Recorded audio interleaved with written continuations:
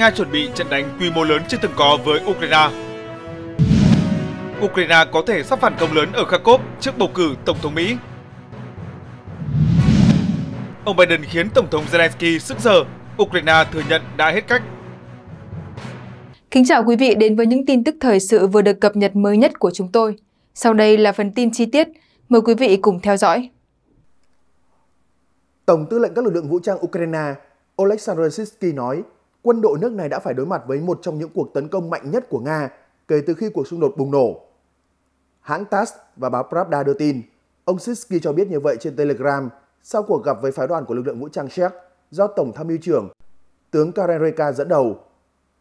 Tổng tư lệnh các lực lượng vũ trang Ukraine cho hay, tôi đã thông báo cho các đối tác Czech về tình hình ở tiền tuyến vốn đang khó khăn. Các cuộc giao tranh vẫn tiếp diễn ở một số khu vực nhất định, đòi hỏi phải liên tục cung cấp nguồn lực cho các đơn vị Ukraine. Hiện nay, quân đội Ukraine đang phải ngăn chặn một trong những cuộc tấn công mạnh mẽ nhất của quân đội Nga. Quan chức Ukraine lưu ý rằng Czech là đồng minh vững chắc của Ukraine và đã có một số sáng kiến quan trọng gồm lập liên minh phát triển pháo binh, xe bọc thép, hàng không và khả năng phòng thủ tên lửa, không quân tích hợp. Ông Sisky bày tỏ hy vọng về việc tiếp tục triển khai các sáng kiến hiện có. Ngày 31 tháng 10, ông Sisky đã thông báo cho tướng Christopher Cavoli, Tổng tư lệnh các lực lượng NATO tại châu Âu, kiêm lãnh đạo Bộ Tư lệnh châu Âu của Mỹ về cuộc giao tranh ác liệt trên toàn bộ tiền tuyến. Kể từ đầu năm, Nga thực hiện tổng cộng gần 7.000 cuộc tấn công bằng máy bay không người lái. Theo tờ Kiev Independent, Bộ Tổng tham mưu Ukraine cho hay tổng cộng Nga đã phóng 2.023 UAV trong tháng 10. Số UAV Nga phóng trong tháng 10 đã phá vỡ kỷ lục hồi tháng 9 với gần 700 chiếc. Điều này đồng nghĩa 29% trong số này được các lực lượng Nga phóng trong tháng 10. Trước đó, không quân Ukraine tuyên bố 1.339 UAV Shahed của Nga đã tập kích Ukraine trong tháng 9. Trong số này, 1.107 chiếc đã bị bắn hạ, một số khác bị hệ thống tác chiến điện tử gây nhiễu và bay vào không phận Nga hoặc Belarus. Nga đã tăng cường các cuộc tấn công bằng UAV, đồng thời giảm bớt sử dụng tên lửa hành trình và tên lửa đạn đạo. Một số chuyên gia cảnh báo các cuộc tập kích máy bay không người lái quy mô lớn này của Nga có thể là để chuẩn bị cho một điều gì đó lớn hơn nhiều, có thể là một cuộc tấn công hàng loạt chưa từng có. Ông Fabian Hoffman, chuyên gia quốc phòng và nghiên cứu sinh tiến sĩ tại Đại học Oslo ở Na Uy cho biết, đã khá lâu rồi chúng tôi mới chứng kiến một cuộc tấn công quy mô lớn. Điều này đáng lo ngại. Một phần có thể liên quan đến thực tế là Nga đang tăng cường không chỉ một đến hai cuộc tấn công hàng loạt, mà có lẽ nhiều cuộc với mục tiêu làm sụp đổ hoàn toàn lưới điện của Ukraine trong một khoảng thời gian ngắn. Bộ Quốc phòng Ukraine viết trên mạng xã hội X, Ukraine cần tăng cường phòng không để bảo vệ người dân khỏi làn sóng tập kích của Nga.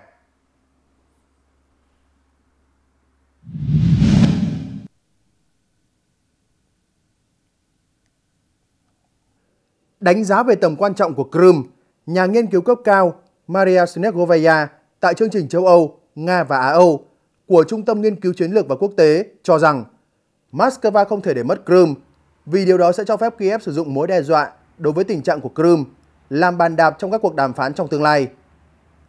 Chuyên gia Elina Beketova tại Trung tâm Phân tích Chính sách châu Âu tin rằng nếu Ukraine có thể giành lại quyền kiểm soát Biển Đen và giành lại bán đảo Crimea hoặc gây áp lực đủ lớn lên các vùng lãnh thổ sắp nhập vào Nga để tạo ra mối đe dọa với Moscow.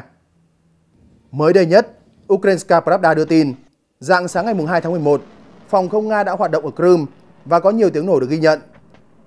Thống đốc Sevastopol Mikhail Ravozayev do Nga bổ nhiệm cho biết, vào khoảng 1 giờ sáng cùng ngày, một cảnh báo không kích đã được ban bố ở Sevastopol do mối đe dọa của một cuộc tấn công đạn đạo. Các kênh Telegram của Nga đã viết về mối đe dọa tên lửa đối với Crimea và Sevastopol. Theo người dân địa phương, những tiếng nổ và tiếng khai hỏa của lực lượng phòng không đã được nghe thấy ở quận Dzhankoi. Ngoài ra có những tia sáng chói ở khu vực làng Azovskoye. Người ta cũng nghe thấy tiếng nổ ở Saki. Báo động ở Crimea kéo dài khoảng 30 phút. Cùng lúc đó, nhiều tiếng nổ đã được ghi nhận ở thủ đô Kiev của Ukraine. Hãng tin Pravda cho biết, thành phố này đang bị quân đội Nga tấn công bằng máy bay không người lái. Cảnh báo không kích đã được ban hành ở Kiev và Chernihiv. Người dân Kiev được khuyến cáo nên ở trong hầm trú ẩn. Bên cạnh đó, trong những tháng gần đây, quân đội Nga đã tiến công mạnh mẽ vào miền đông Ukraine, giành được nhiều lãnh thổ. Theo Bloomberg, Nga đã giành được 1.146 km vuông ở Ukraine kể từ ngày 6 tháng 8, nhiều hơn khoảng 1 phần tư so với 7 tháng đầu năm. Riêng tuần qua, Nga tiến thêm 200 km vuông.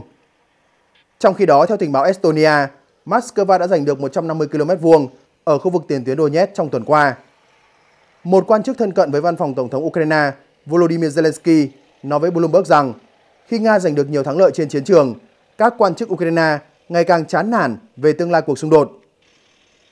Quân Nga được cho là đã giành được thành phố Selidove thuộc Donetsk, nhưng Ukraine vẫn chưa xác nhận các báo cáo.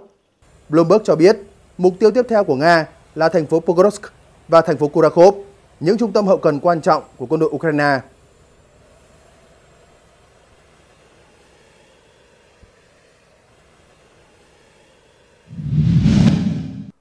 Có dấu hiệu cho thấy lực lượng vũ trang Ukraine sẽ tổ chức phản công lớn ở Kharkov trước cuộc bầu cử Tổng thống Mỹ.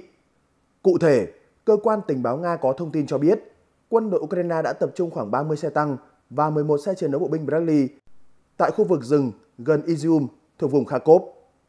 Bên cạnh đó, khoảng 30 chiến xa phương Tây, bao gồm cả Leopard, cũng được bố trí ở khu vực làng Golubovka. Xem xét việc tập hợp thiết bị quân sự của lực lượng vũ trang Ukraine tại khu vực Sudza thuộc vùng Kursk, có thể kết luận rằng một chiến dịch quân sự tại Kharkov sắp xảy ra. Theo báo chí Nga, rõ ràng Kiev một lần nữa đang cố gắng thuyết phục Washington về sự cần thiết phải cung cấp hỗ trợ tài chính, quân sự rộng rãi hơn và cho phép tấn công bằng vũ khí tầm xa vào các mục tiêu trên lãnh thổ Nga. Người đứng đầu cơ quan lập pháp Crimea, Vladimir Konstantinov vừa qua đã đưa ra cáo buộc rằng phương Tây đang sử dụng một mô hình ngầm để cung cấp vũ khí tầm xa cho Ukraine nhằm tấn công vào sâu lãnh thổ Nga. Ông Konstantinov chỉ ra rằng phương Tây có thể tháo rời tên lửa tầm xa để chuyển sang Ukraine. Sau đó Kiev có thể tuyên bố số tên lửa này do họ tự chế tạo và thử nghiệm. Trước tình hình trên, truyền thông Nga nhấn mạnh, bất chấp những nỗ lực của phía Ukraine nhằm duy trì đầu cầu ở khu vực Kursk, lực lượng vũ trang nước này đang chịu tổn thất nặng nề ở đó và mất đi các khu vực bị chiếm đóng. Hiện tại, các binh sĩ thuộc nhóm tác chiến miền Bắc của lực lượng vũ trang Liên bang Nga đã nắm quyền kiểm soát con đập, từ đó chiếm giữ một điểm cao chiến lược quan trọng. Điều đó cho thấy Ukraine vẫn phải đối mặt với những thách thức đáng kể ở Kursk. Quân đội Nga lớn hơn quân đội Ukraine về quy mô và số lượng vũ khí. Nga càng huy động nhiều nhân lực, vật lực cho cuộc chiến tại Kursk thì việc phòng thủ của Kiev càng khó khăn hơn. Giới chức quân sự Moscow khẳng định Kiev đã mất gần 30.000 binh sĩ tại Kursk, số bị thương gấp 5 đến 6 lần, tức là lực lượng vũ trang Ukraine đã mất 2 phần 3 binh lực tại chiến trường này.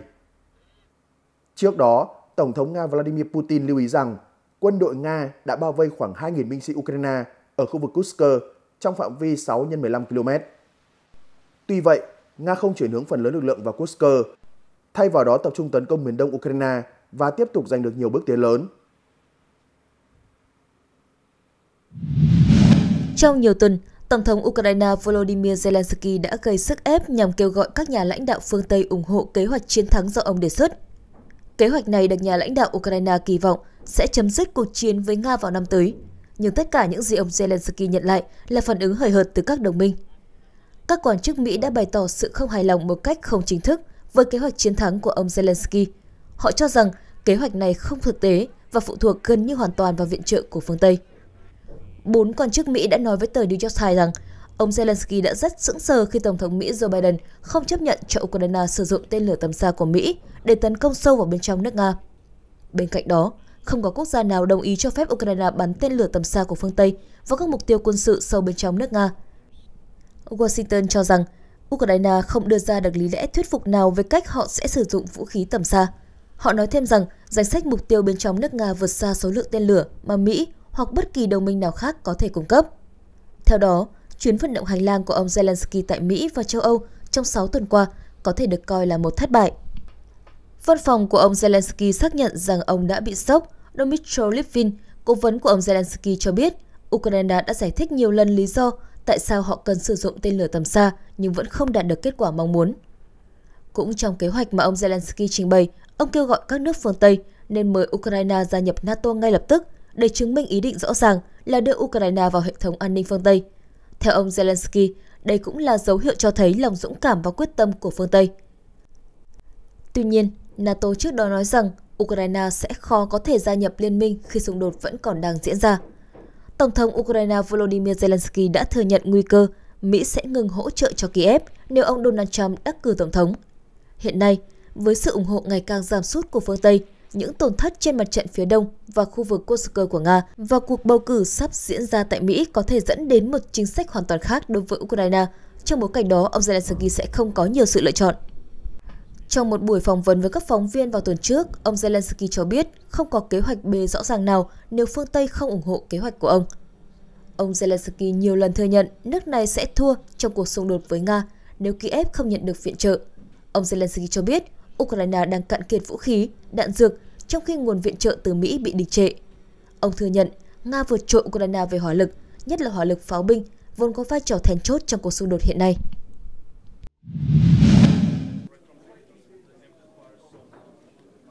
Báo cáo từ Phòng Thí nghiệm Nghiên cứu chất nổ thuộc Viện Nghiên cứu Khoa học Pháp y Kiev KNDISE cho biết, những ngày gần đây, Nga đã triển khai máy bay không người lái trang bị đầu đạn nhiệt áp trong cuộc tấn công vào các mục tiêu quân sự trên lãnh thổ Ukraine. Theo đó, các chuyên gia đã kiểm tra các mảnh vỡ từ máy bay không người lái Geran 2. Geran là UAV tấn công được Nga phát triển dựa trên UAV Shahed 136 của Iran, được lực lượng Nga sử dụng trong một loạt cuộc không kích từ ngày 26 đến ngày 29 tháng 10. Quá trình phân tích chỉ ra rằng quân đội Nga đã cải tiến máy bay không người lái để trang bị đầu đạn nhiệt áp.